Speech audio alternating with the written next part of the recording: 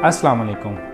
My name is Faraz Yunus and I'm dairy plant manager at Nestle Sheikhupura factory. We source milk from hygienic farms having healthy cows. दूध को factory में receive करने के बाद इसे 36 quality test से गुजारा जाता है इसके बाद इसे टेट्रा पैक पैकेजिंग में महफूज करते हैं इस प्रोसेस के दौरान इंसानी हाथ तो क्या हवा तक टच नहीं होने देते डेयरी प्लांट के हर फर्द के हाथ रेगुलर बेसिस पर धुलवाना सैनिटाइज़र का इस्तेमाल और इनकी स्क्रीनिंग बहुत क्लोजली मॉनिटर की जाती है।